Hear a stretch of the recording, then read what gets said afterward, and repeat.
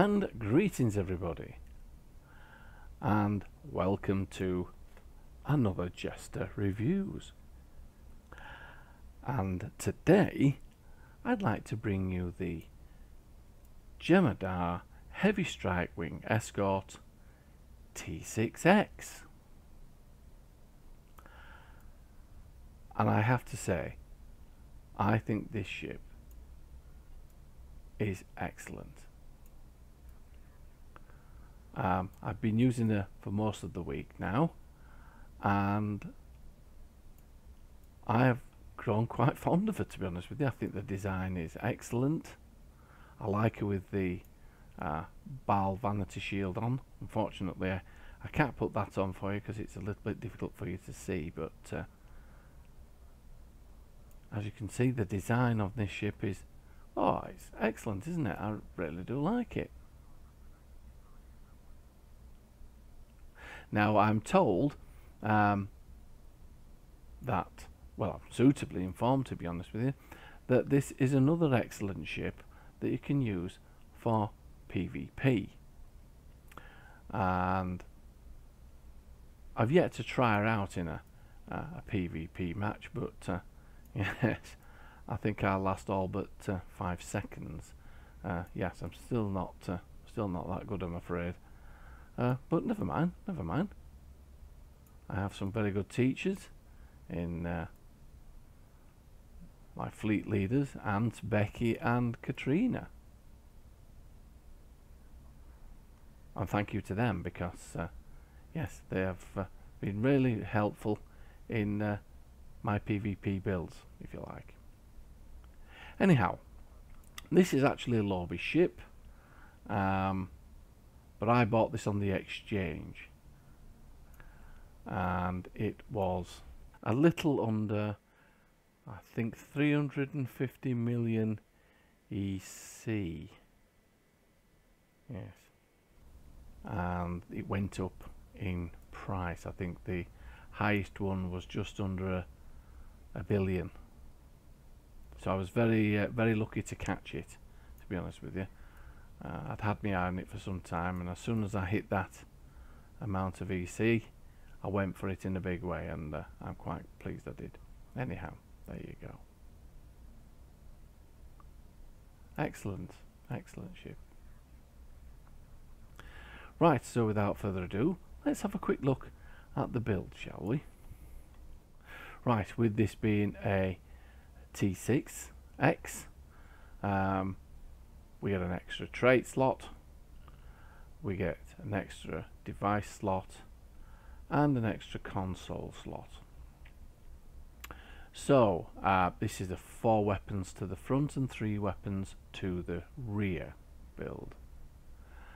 Uh, at the front going from left to right I have three spiral wave disruptor dual beam banks all at various stages of modifiers I'm afraid. I think two of them are crit D times 3 and one is uh, uh, accuracy times 2 and critical edge critical hit.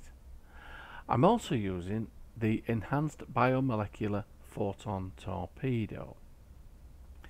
Now I have to say that I have tried this and it was recommended by a friend and um, this actually hits like a truck. Well, actually it's like two trucks, to be honest with you.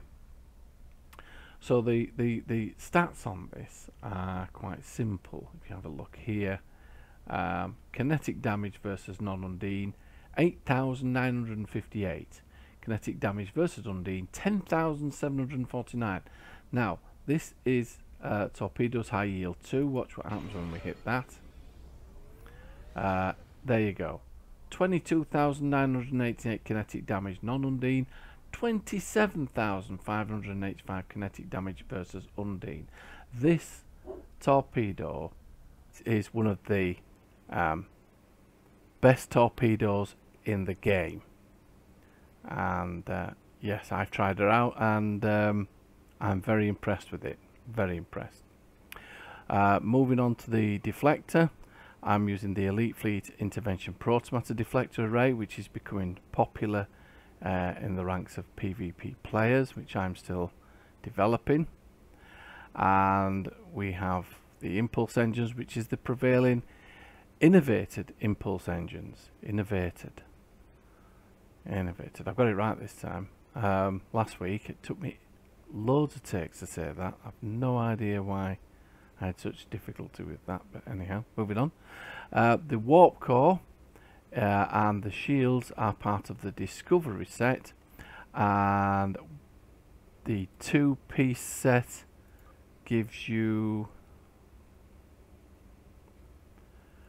120% hull regeneration hull regeneration scales with maximum hull so that's the idea behind having these two together the rear weapons consist of one spiral wave disruptor beam array the House of Martok disruptor which comes as part of a two-piece set with the console engine. Actually it's a three-piece set. I do apologize. It's a three-piece set because there is the House of Martok transphasic torpedo launcher uh, so yes I'm using the two-piece set and the two-piece set gives us uh, what does it give us there we go 2.5 critical chance and plus 15 accuracy rating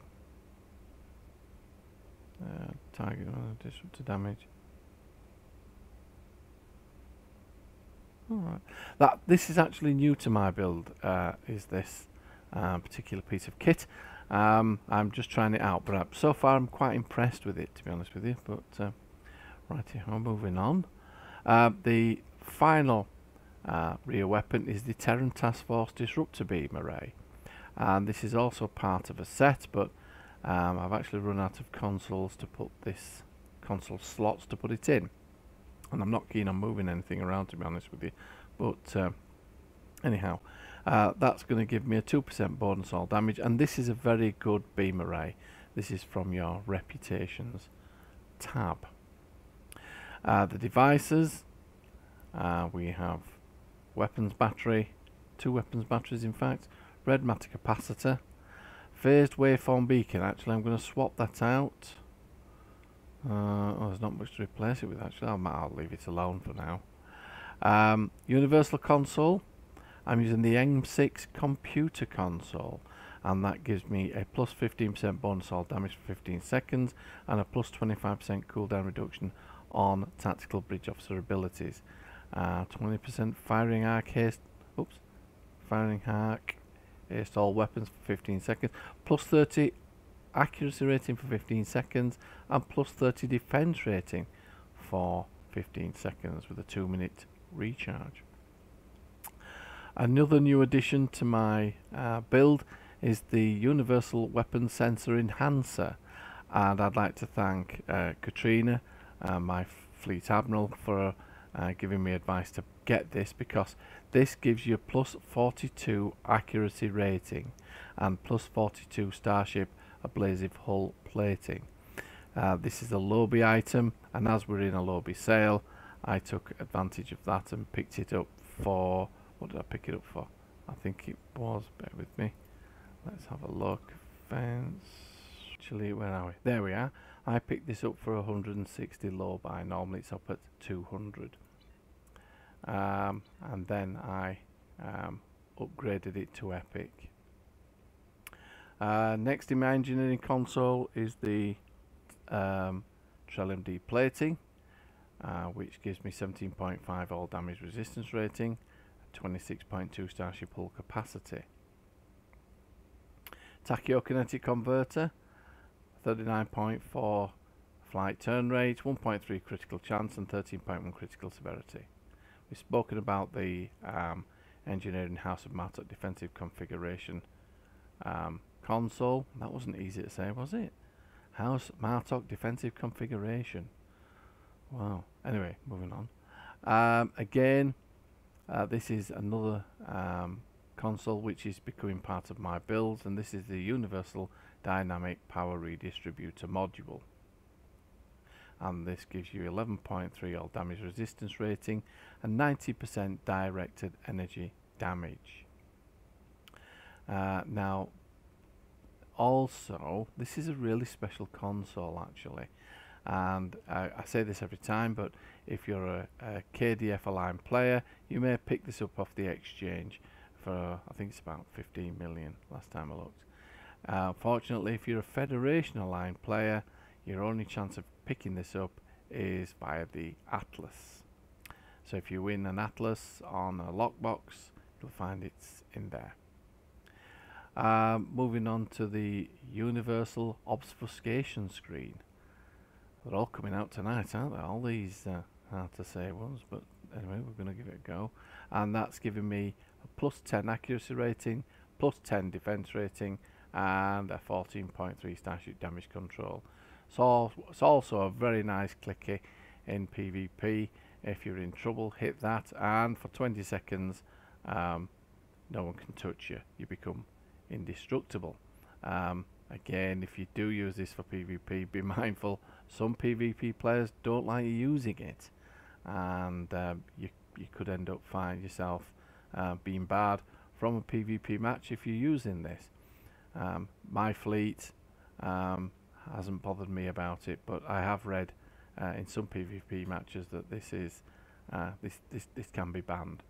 Um, I've also uh, read that there's other items in PvP matches which we'll go into later, uh, which can be uh. These are placates and confusion consoles, which we'll talk about at some later stage. Moving on to tactical console, I'm using the Domino, which is giving me 15% phaser damage and 20% accuracy rating. Uh, even though we're not using phasers, I've, I like it for the accuracy rating and the 25% fire firing cycle haste for energy weapons and 25% bonus all damage plus 25 recharge speed for bridge officer abilities and 100% recharge speed for torpedo weapons as well. That fits very nicely uh, with this torpedo which can't half bang a bit I can tell you. Uh, this is the console that comes with the ship, the Universal Enhanced Dominion Coordination Protocol and this is giving me a 15% directed energy damage and an 8% critical severity. Damage buff movement, buff uh, immunities, 15% all damage bonus for 15 seconds, 60% flight turn rate for 15 seconds. Whoops, lost it. What have we done with it? There we are. 60% flight speed for 15 seconds, 100, 100 inertia rating for 15 seconds. Immunity to confuse, placate, flight speed debuffs and turn rate debuffs for 15 seconds. Prevents the target from using or being affected by fleet maneuver gamma for 60 seconds. Wow. And this is part of a what is it? Part of a three piece set. And I believe I believe these are on other Dominion ships, which I don't think I've got. So I'm going to have to look into that. Uh, moving on, this is the uh, second part of the set with the universal uh, dynamic power redistributor module, which I forgot to mention. This is part of a two-piece set, and this is the. Whoops, it is. I'm going clicking mad today, aren't I? Going clicking crazy.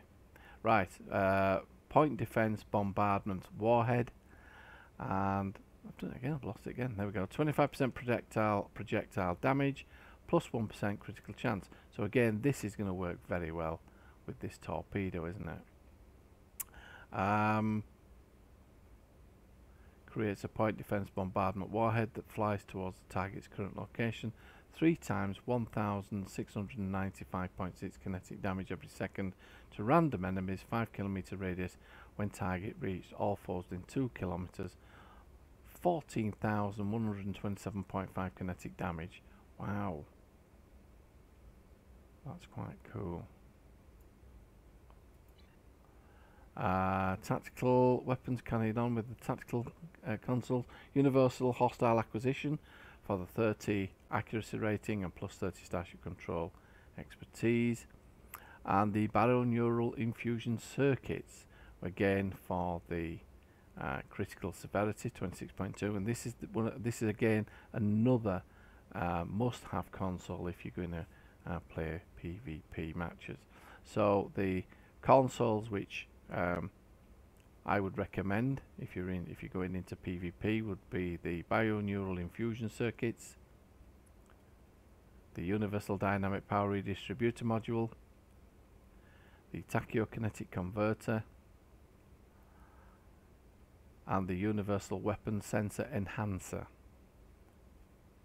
And they they are the backbone of this build, I would say, if you're going to use it for PvP.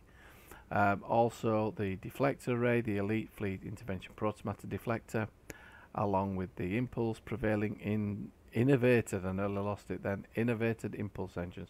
So those are, if, if you're going to use this ship for PvP, those are the uh, bits and pieces that you'd need to, it, you know, from what I've been reading, that uh, you, you should have in your build. I think we've not touched upon the experimental weapons, have we? Uh, so this is the experimental dual warhead launchers and this targets a 1 kilometer radius kinetic damage and 360 targeting out to target 9180.9 kinetic damage times 2 and that gives me a plus 2% critical chance 10% critical severity plus 10 accuracy rating every six every six, uh, 8 seconds. This is again I, I like this I like this uh, experimental weapons console. This is quite cool as well. Now, this is a carrier, although you wouldn't believe it, and um, I have uh, purchased the Elite Jem'Hadar fighters from my fleet, uh, which it comes with the rare fighters, and uh, yes, if you if your fleet's advanced to the appropriate tiers, you'll be able to pick these fighters up and upgrade the uh, your hangar. Um, fighters for your ship. Right, moving on quickly to the stations.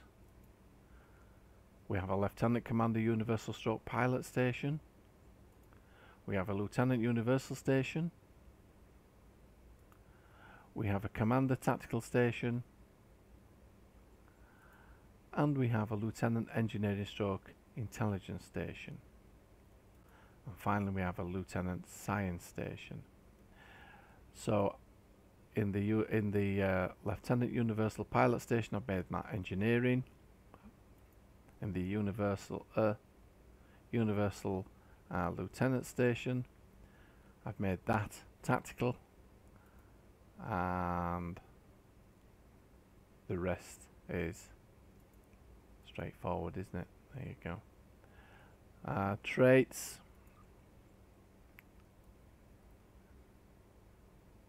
Now then, um, I think I'll just go through the important ones here. Context is for kings. I looked that up on the uh, exchange yesterday and that was up at 15 million EC. Not cheap that. Um, superior beam training. This is from your fleet. I think it, is it K7? From your fleet. Uh, upgrade your uh, beam weapons. I think it's from 5% to 7.5 superior beam training. Uh, this is another piece of uh, another piece of kit which I like. Repair crews. Uh, now starship traits. I've been told with this one that I could have some diminishing returns. I'm working on that uh, and I will let you know um, what the outcome is on that. Space reputation, I'm running Tyler's duality, unshaken resolve, magnified firepower, precision rank 2, and automated protomatter conduits. I mean, we'll go through the starship traits if you want. Um, Vulcan Hello, Invincible, Preferential Targeting, emergency weapon cycle, desperate repairs, and because this is a 6X I've got an extra slot and it's advantageous positioning. Right, I think that's covered everything. Oh, hang on. Uh, I'll tell you what we haven't covered. We haven't covered the statistics, have we? Here we go. So the hull on this ship is 108,207 uh, with a hull repair rate of 312. The shields 22,638. The resists are in the early 30s. The accuracy rating is 149.8 and the critical chance is 34.4% and critical severity 151.1%. Now I'm just wondering if I that the one? If I click on that, there we go. So I can get the accuracy rating up to 179.7 with the aid of the M6 computer. So that's quite cool, isn't it? What does this do? Does this push up again? Oops. Does that push up a bit more? Oh, that didn't move it, did it? So, yeah, it's just the M6 computer, really. Right, so we've had a look at the outside and we've seen what makes a tick. Uh, what we'll do now is we'll go to the bridge, have a quick look around the bridge. I think it's the same as the bug ship, to be honest with you. And then I will change this vanity shield for my ball vanity shield and we will take her into harm's way and uh, see how she performs. So, I shall see you momentarily. Well, here we are on the bridge. My, that load up time took absolutely ages to uh, sort itself out. But anyway, we're here now. So, uh, as you can see, it's um, it is exactly like the bug ship bridge. Very Spartan. Um, as you can see, no screen because the lead Vorta or the first they had a little eye patch on didn't they and they could uh, they determined what the whole of the crew could see. I should imagine in typical Jem'Hadar fashion uh, everybody was should have been concentrating on what they were doing rather than having a screen to distract them which is I think the uh, mentality of how this ship's been put together. Lots of colour isn't there? Now, as you know, um, when I'm doing some builds, I do like to interact with the crew and have a bit of a laugh. I do try and keep uh, the, the, learning process as jovial as possible. Um, and, and I also try to be different from other people who do reviews. Um, but what I'm going to try to do is when I'm dealing with a review such as this, like a, a PvP review or part PvP review or uh, whatever, um, I'll try and keep it to a bare minimum um, because I know um, some people don't like the um, humorous approach and some people do.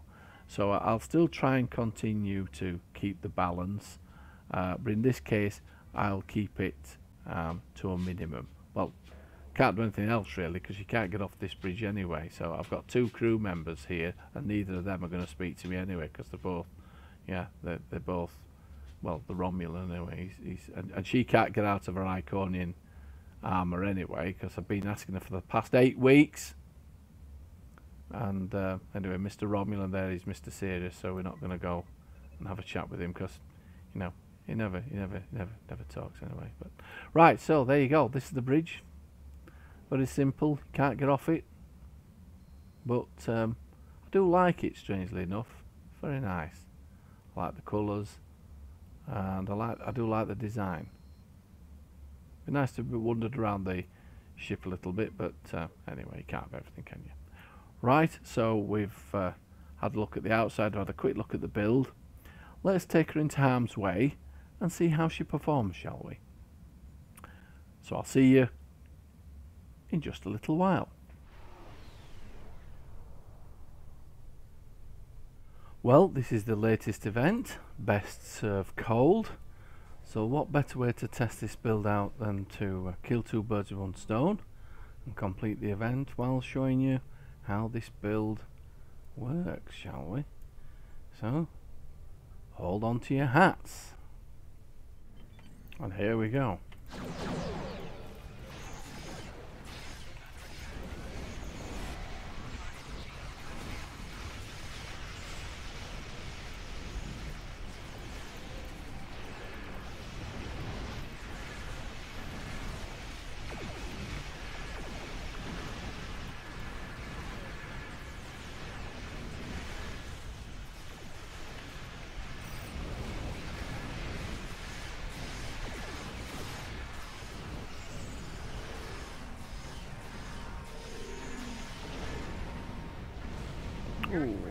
Five kilometers of each station to reactivate. Okay, let's have a go at Alpha Station. Watch out! The defense satellites are targeting us! This is a car. Another car. There you'll find Gale. Before Yasana! Control station Alpha is under our control now. Enemy is cunning. Consider every weapon. Those Mukai infiltrators are uploaded to Viper. Stay within five kilometers of the station to counter. Destroy the infiltrators to solve that problem permanently. Let's try and fire this uh, torpedo off, shall we? And give it a test. Let's try and find a target. Control station Gamma has been Oh, they don't last very long, do they, these targets?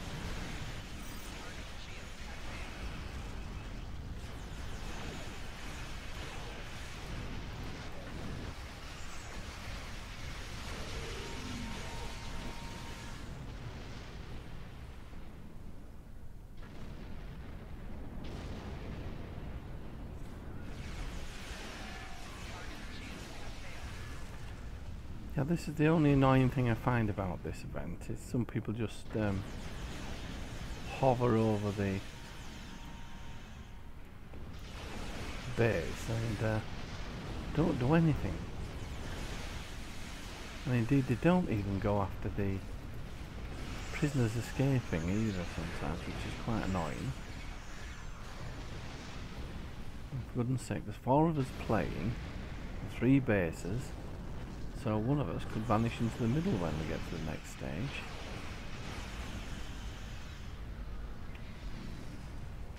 Yes, feel free to join me when you want.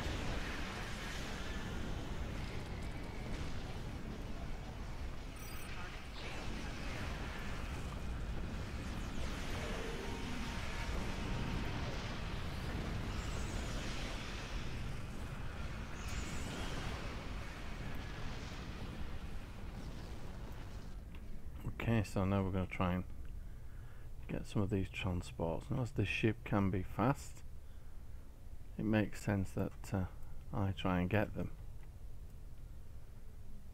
If I can find them. So, A transport is leaving the surface. The prisoners are trying to there we escape. go. Let's get that one.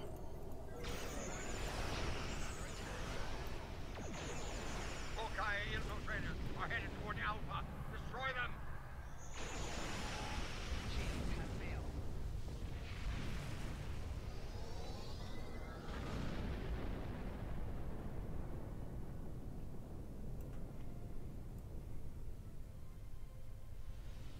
Here comes another one. These prisoners are bold, stupid, but bold.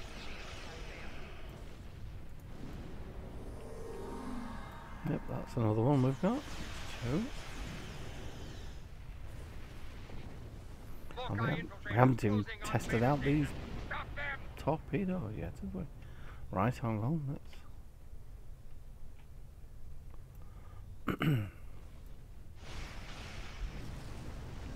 Reading infiltrators heading toward Beta and Gamma Station. Take them out! It's on all stations. Stop them!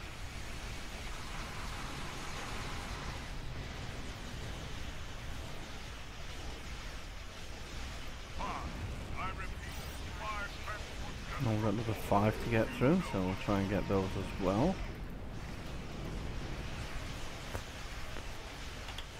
So she's quite agile, so let's give this one good news with the torpedo. We Close the distance too quickly there. That's away, let's let it. Woo! That was a big hit, wasn't it? Once you damage the shields with these uh, beam arrays and then let that torpedo fly, they're not going to live for very long. It's a very, very good piece of kit, is that torpedo. Have we got all of these?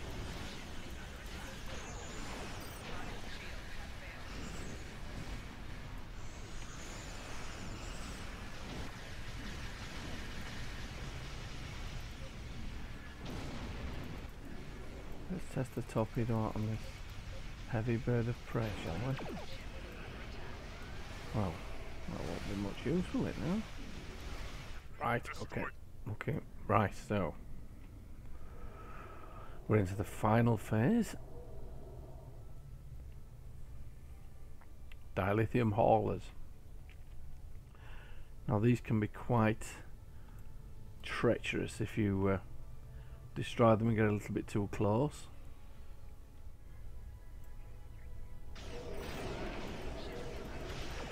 Here we go.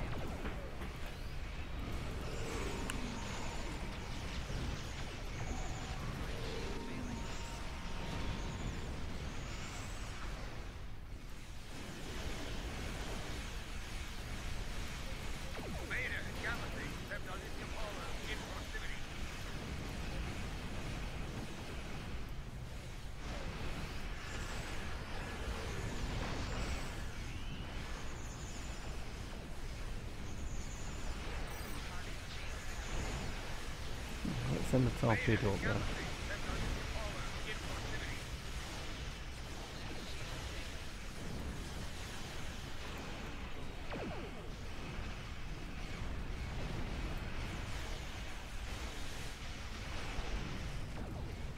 Just manually set that torpedo off a little bit late. I should have waited while I started hitting it with beams first.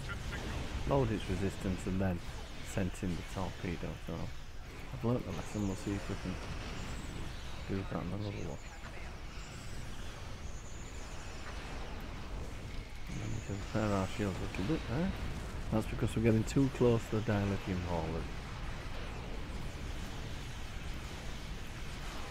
My only problem with this event, I get a little bit blasé with the dilithium haulers and uh, they always end up catching me out sometimes, so I've got to be really careful.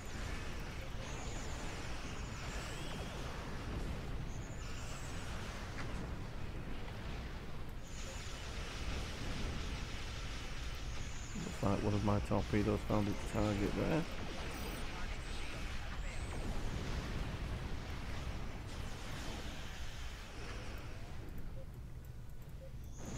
Alpha and Beta stations have dilithium hauler in proximity. Target shield has failed.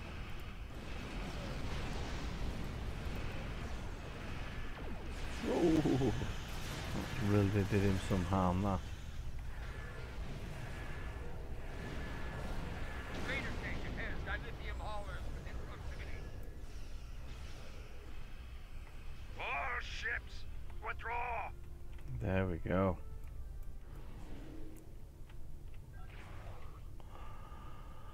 Well, th- it's been a little bit of a long review, hasn't it, reviewing this ship? Um, but you've seen her in battle, and she's quite impressive, isn't she? Very manoeuvrable, and uh, yeah, I'm very pleased with her. She'll definitely uh, spearhead my fleet, especially in the PvP world, which I'm hoping to uh, explore later. Right, so here we are, back on Earth Sol. And uh, yes, it's been a very long review, this, hasn't it? I do apologise, but uh, we had a lot to get in, and uh, I wanted to make sure that I covered as much ground as possible for you. So, I hope you're all keeping safe. And uh, for now, I shall bid you good evening, as it is here in the UK. A very dark and dank evening, I hasten to add. So, until next time, this is Jester signing off.